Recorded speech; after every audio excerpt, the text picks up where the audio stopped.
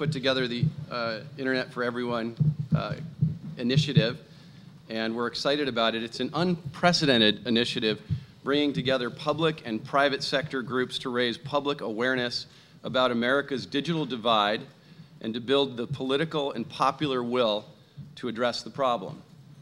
We start from this simple premise. To fully realize the net's potential, all Americans must have access to a fast, open, and affordable internet. Today, they do not. The U.S. has sunk from fourth to 15th in the world in broadband adoption since 2001. We're here today because we can no longer leave this critical issue in the hands of Congress or the phone and cable companies that have dominated the policymaking process for years. We're here today because we can no longer leave this critical issue in the hands of uh, the, the, this. I'm going to go to the next line. You know, it's funny. I was, uh, as I started, I was like, "How can I make a joke with on this subject of internet internet adoption?" And and, and that was fortuitous. Dis, despite common misconceptions, the digital divide is not shrinking. According to our research, right now, half of the country does not subscribe to high-speed internet. As remarkable that, as that is, with everyone on here right now probably checking email or looking at a website instead of listening to me. Americans pay far too much for far too little compared to consumers in other countries. And it's the middle class and the less fortunate who are falling behind. The divide is not just economic either, it's also geographic. Nearly 10 million rural households are in areas not served by any broadband provider. We're here today because the future of the internet is the future of nearly all media. Television, radio, phones, movies, and emerging technologies are all moving to a digital platform. That's a big deal. And we know that the policymakers are going to determine the future of the internet with it, the immense social, political, and economical, economic consequences for generations to come. So with so much at stake, closing the broadband digital divide must be a national priority. One of the biggest obstacles to adopting a national broadband policy is that the internet is not seen as a political issue. And even if it were, today the community that uses the internet is not sufficiently organized to guide the policy debates that will shape its future. That's why Internet for Everyone is here and being launched today. The initiative is organized around four core principles. The first is access, that every home and business in America must have access to a high-speed, world-class communications infrastructure. Number two, choice. Every consumer must enjoy real choice of high-speed internet providers to achieve lower prices and higher speeds. Number three, openness. Every internet user should have the right to freedom of speech and commerce online in an open market without gatekeepers or discrimination. And fourth is innovation. The internet should continue to create good jobs, foster entrepreneurship, spread new ideas, and serve as a leading engine for economic growth. Internet for Everyone does not support or oppose specific legislation, but rather presents these principles as the foundation of a national broadband plan.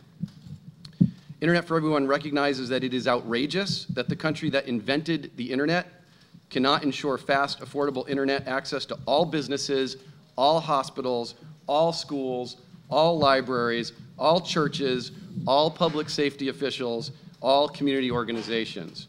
Internet for Everyone recognizes that to close the digital divide in this country, we must dramatically change course.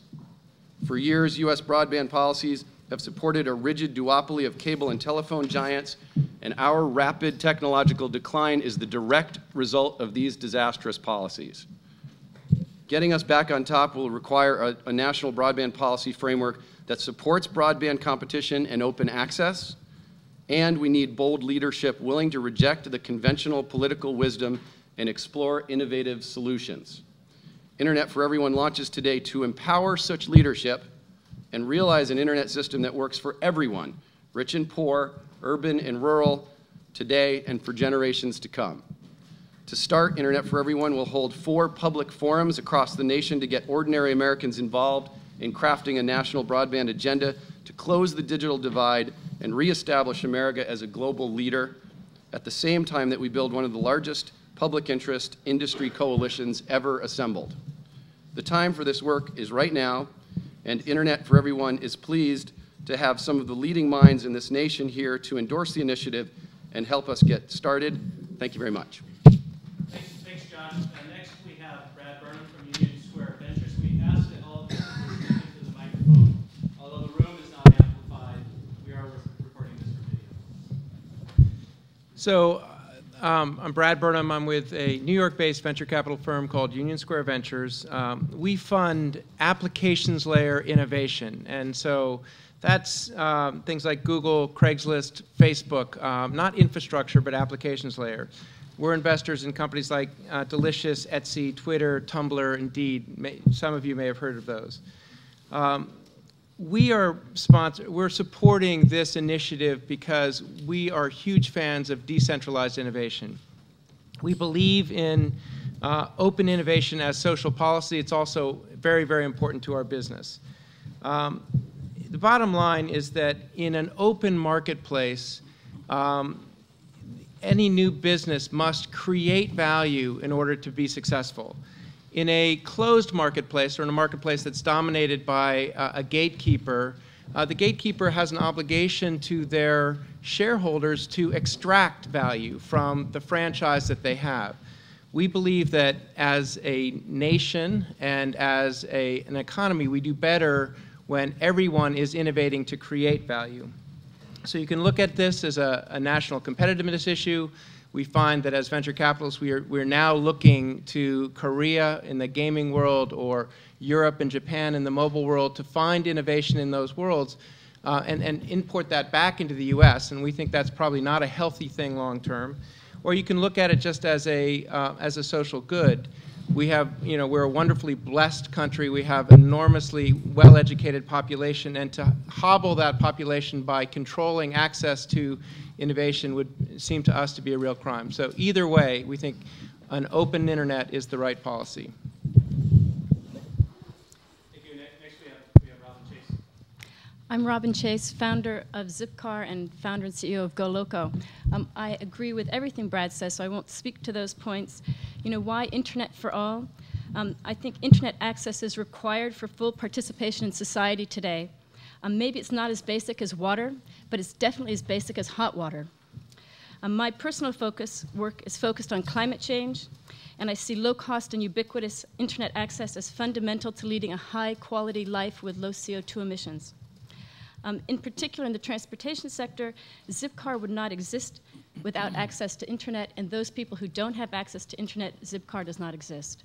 Um, GoLoco, which helps people arrange to share rides quickly and easily among friends, getting at the high cost of fuel today and a solution for people in rural areas is completely dependent on internet access and people able, being able to connect.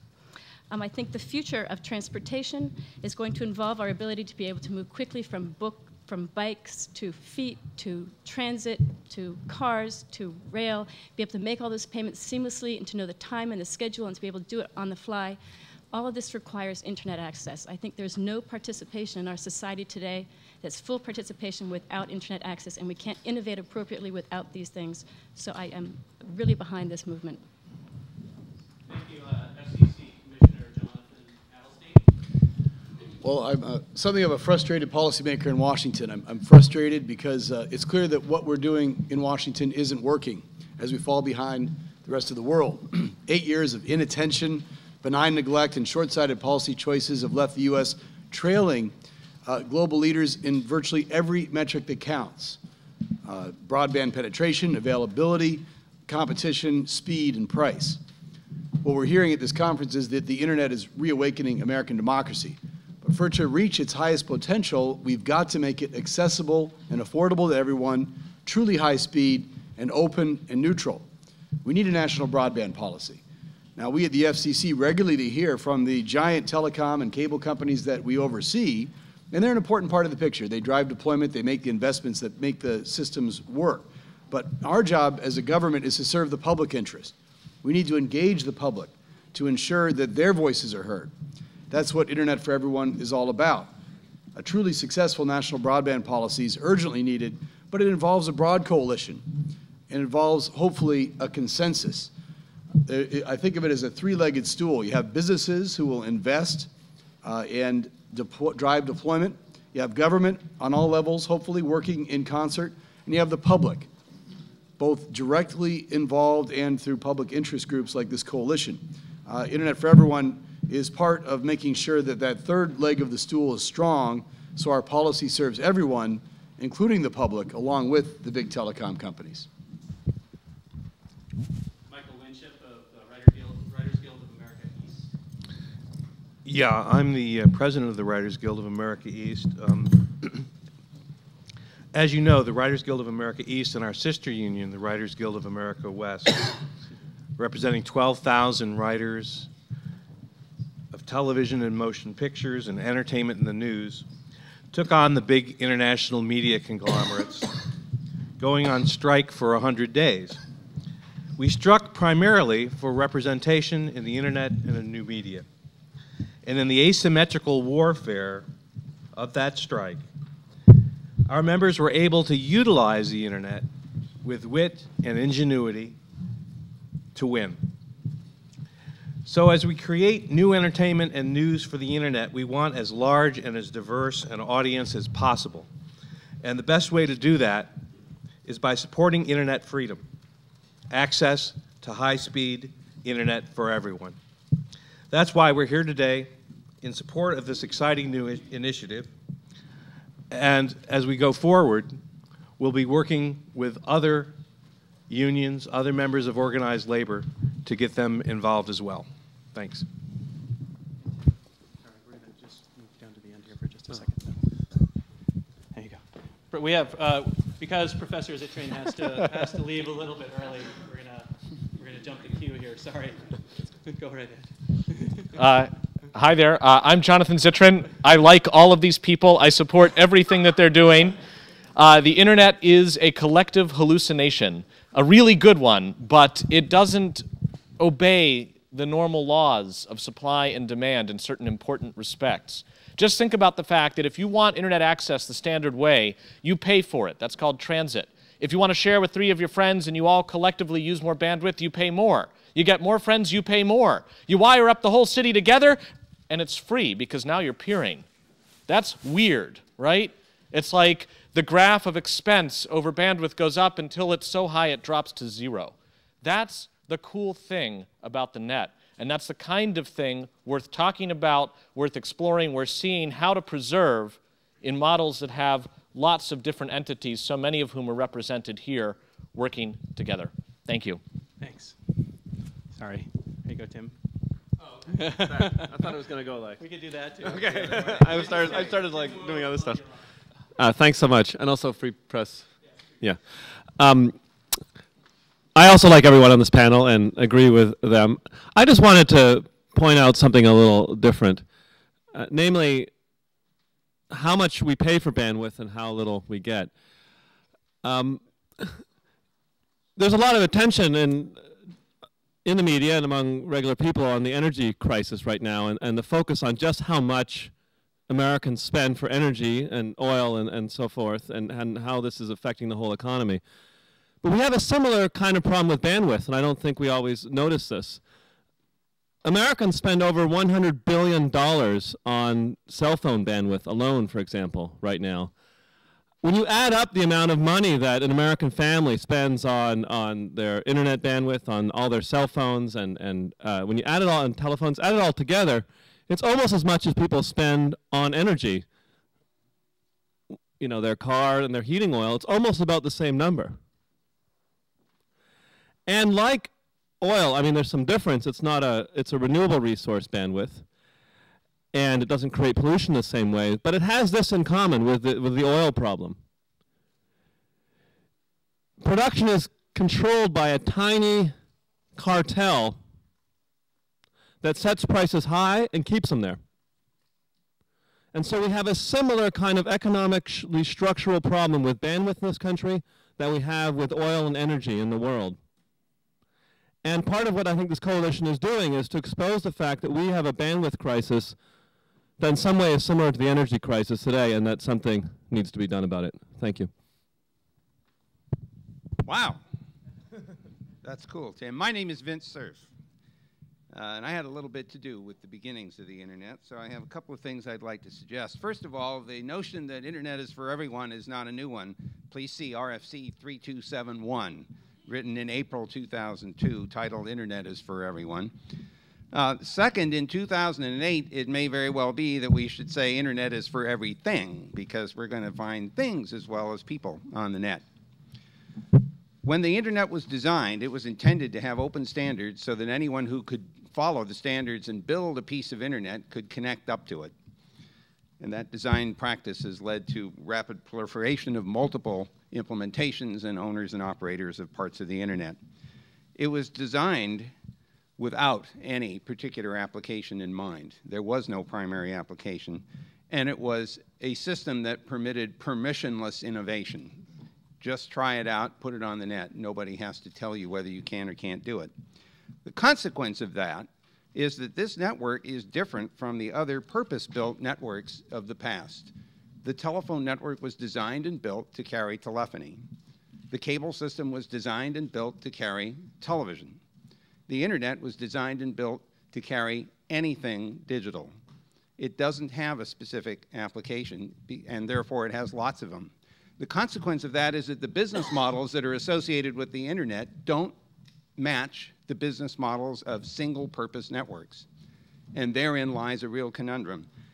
Rick Whitt and I prepared a paper called Horizontal uh, Regulation. I'm sure that Commissioner Adelstein has seen, or is it Adelstein or Adelstein? Adelstein has seen this uh, and I hope has given some thought to it. I submit to you that the internet is not something that should be regulated in the same way that the vertical regulation uh, has uh, used in the past. Finally, I want to point out that what's critical about all this is that freedom is about freedom to choose, to choose which carrier will carry your bits, to choose what services you go to and where they are in the net, to choose what equipment you use and what software runs on it, to choose what applications you want to run. All of those things are heartland from Google's point of view. We think the net needs to be open, accessible, affordable, and all those other wonderful things that have been mentioned so far, and we support this initiative. So a little lost because I don't have slides. Um, Power corrupts and PowerPoint corrupts absolutely. But it's.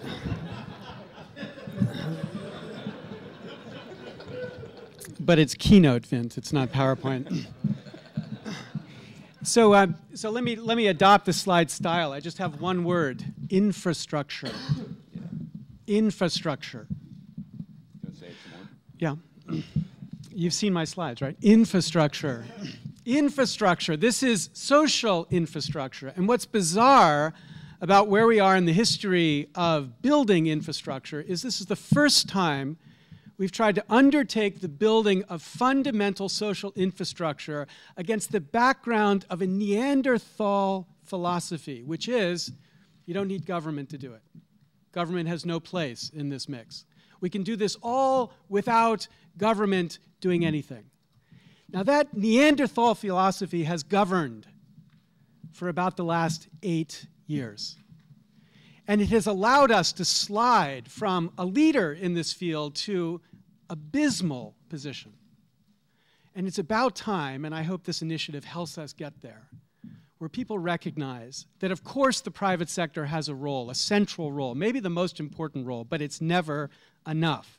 And the government has a responsibility to make sure that this, the leading technology nation in the world, is not embarrassed by the key technology, key infrastructure that is central to much more than private enterprise, public interest, social interest, cultural interest, personal interest. All of these things drive the necessity of the net. And we need a government that can get us to a place where all of these interests are reflected in the net. Infrastructure. Next, we have David All of Tech Republican and SlateCard.com. Well, I have to follow Vint Cerf and uh, Larry Lessig, so I'm going to be extremely brief. um, well, it's really common sense to me as to why Republicans would want to support the internet. And that's largely with the fact that 50% of America still doesn't have access to a high speed internet uh, connection. And that's largely rural America. In fact, that's over 10 million households.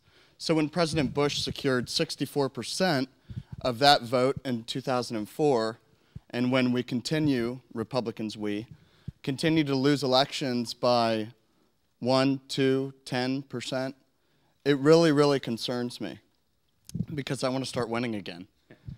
Um, and the second point, which hasn't been brought up yet, is I'm 29 and I'm an entrepreneur. And so I'll, I'll speak for Gen Next and, and millennials who aren't represented here, who are the generation below me. But 70% of high school students want to be entrepreneurs. And that's the highest number that it's ever been at all time. And they're not thinking about starting a barber shop. They're thinking about starting a Facebook. And they're out there trying to be creative and clever and they understand that their idea matters. And there are people out there, and you know, instead of um, you know, it's inner city kids, it's urban kids, suburban kids, it's kids all over the world who are thinking the same stuff and dreaming the same stuff. So that's why I'm here supporting this effort. Thanks, David. Uh, last we have Van Jones of Green for All, then we'll, we'll get to questions. That's good. That's good. Um, well, I'm, uh, first of all, very, very happy to be here. I, I want to, first of all, uh, testify, as Josh said, that the digital divide is alive and well. Uh, I have to confess, when I got here, I uh, saw a bunch of people that are standing around talking. They were all talking about Twitter. And I said, oh, Twitter bird. I thought I saw a putty chat. And, and they said, no, that's a tw tw Tweety, Tweety bird.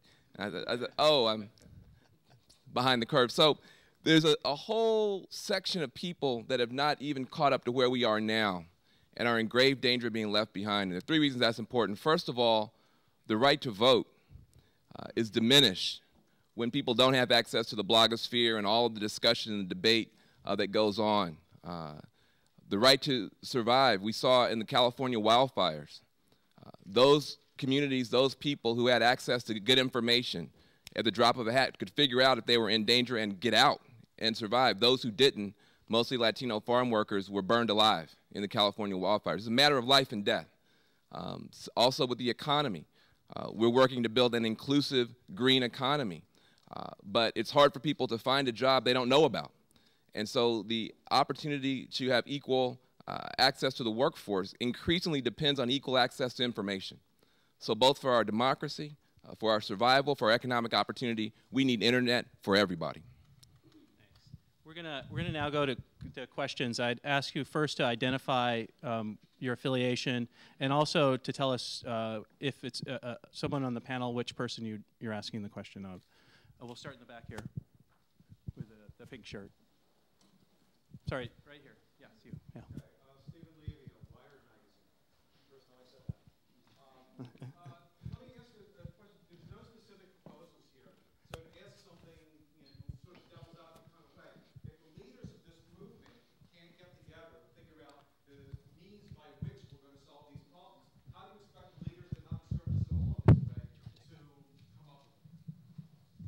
Basically, as everyone in this room knows, this is an enormously complex field.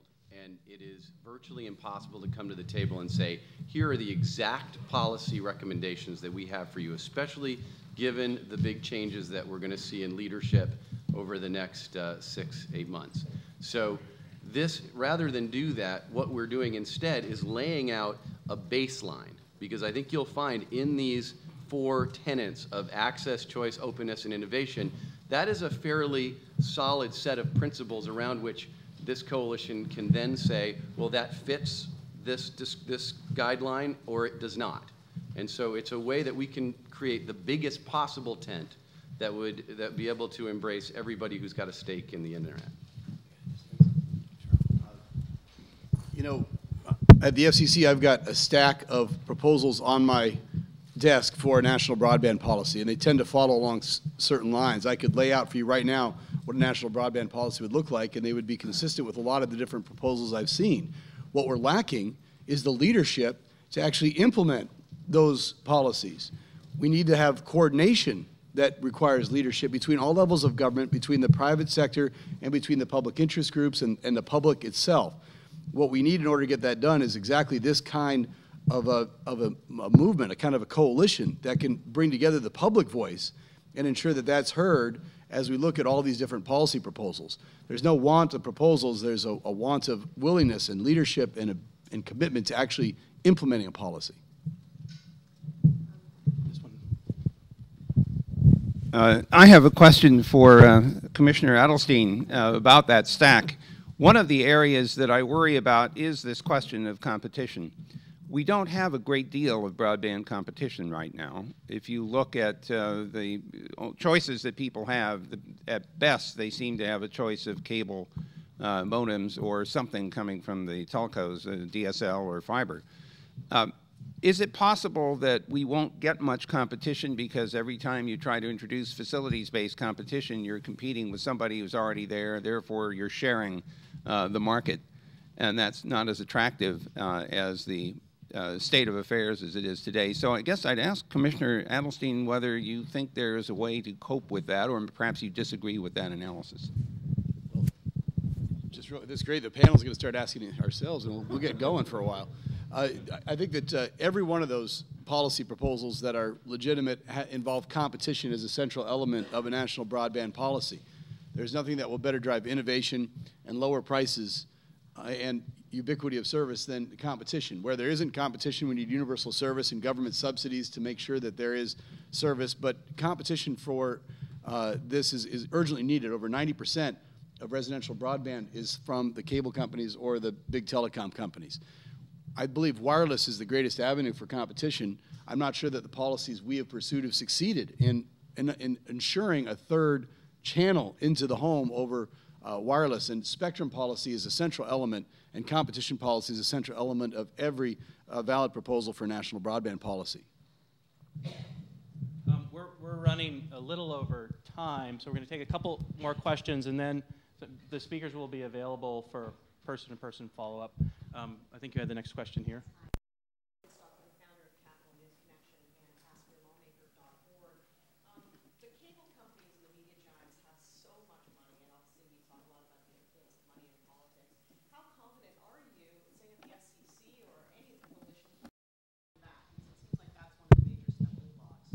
Well, if you look at the fight over media consolidation, we were up against those very same powerful companies, the most powerful, uh, the most powerful industry in America, the media, which politicians tremble in fear of, was basically held uh, by the public, working with free press, working with public interest groups. The people won out over the most powerful industry in America because we stopped the attempt to roll back our media ownership rules.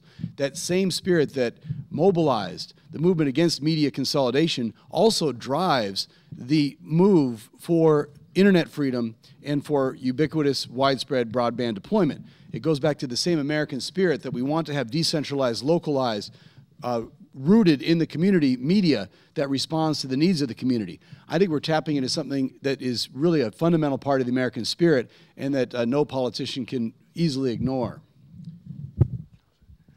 Uh, the writers, we took them on directly. We took them on directly, and while we didn't get everything we were after, we did get a lot. And the way we were able to do that was by using the internet itself. That they were not, you know, as, as much profit as they see in this, as much growth as they see in this, they still don't really know how to use it.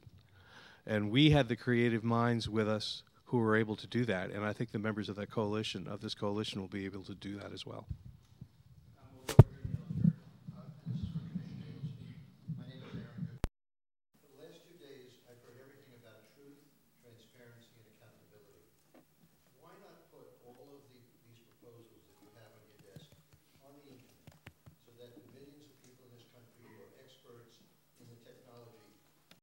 break these down, comment on them, give you the kind of support and information that you really need to help you make those decisions in the, in the FCC.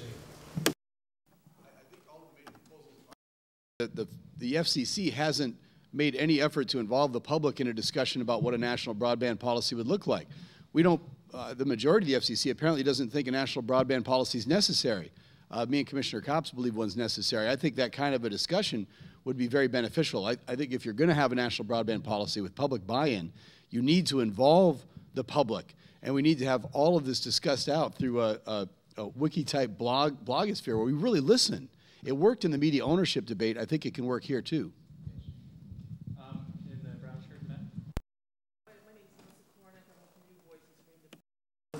Um, I have a question for Mr. Winship. Um, um, given that um, the majority of the institutions, including the fourth estate, were dominated in, uh, by entitlement and privilege of basically one race, how, how do we reach out and incorporate and promote um, other races and cultures, and also from?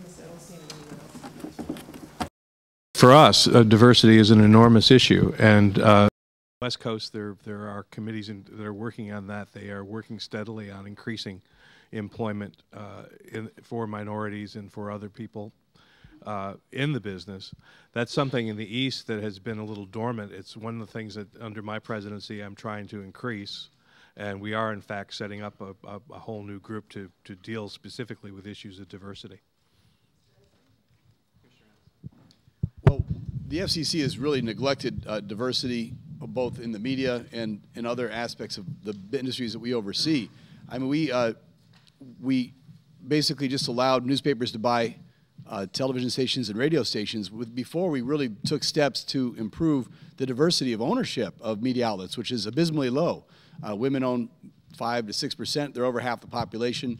Minorities maybe three or four percent, and they're a third of the population. So we, our policies are out of whack. I think we need to uh, fundamentally address this issue. Hopefully, the having an open and neutral internet can lead to a more representative uh, a sector of the population being able to really participate and engage because we're seeing in the old media, in the mainstream media, that the ownership is incredibly concentrated uh, without adequate diversity so that the media doesn't look like America. So we're running over time, um, and some of the panelists here are actually speakers in other sessions that I think may have already begun. So we're going to only take one more question. I know there was a question in the back of the room in the blue. Sure. All right. Uh, Andy. Yeah. Hi. Andy Carvin with NPR. And full disclosure, I used to run the Digital Divide Network as well. Um, I got a question about education. There's been a lot of far specifically about infrastructure, access, and neutrality. But when you look at the data that like the NTIA and Pew have produced over the years about where the digital divide exists, it seems one of the greatest correlations between who has access and who doesn't an education well. So I'm just wondering, how does education fit this place? Maybe I'll start too. You know, if I'm not mistaken, generally the more education you've attained, the higher your income. And one of the things we've accepted in the United States is just that bandwidth is incredibly expensive. You know, we've accepted the idea that people that uh, because of this fake idea of spectrum scarcity, for example, that it's reasonable for people to spend hundreds of dollars for reasonable cell phone service, hundreds of dollars for cable service, hundreds of dollars, you know, 50 to 20 to 50 dollars on internet service. 50 years ago, Americans paid almost nothing for bandwidth. Um, now, partially, a lot of things hadn't been invented yet, so that's one reason. But there is this fact that we've just accepted that bandwidth is something, and because I think we've just given into this model, that bandwidth is something that American families will spend hundreds of dollars on per month, right? Uh, and that that and that in fact, some people say it's a good thing because the industry is worth billions of dollars. But when a basic commodity like that is expensive in oil or in energy, we say need, something needs to be done. We have not done enough to reduce the price of bandwidth. And I think if people, I think then with lower incomes would be able to afford this stuff. And I think that's where it starts.